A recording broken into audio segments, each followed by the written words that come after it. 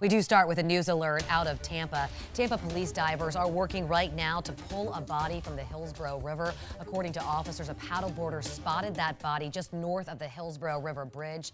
That call came about an hour ago. They have not said how this person died or who it is.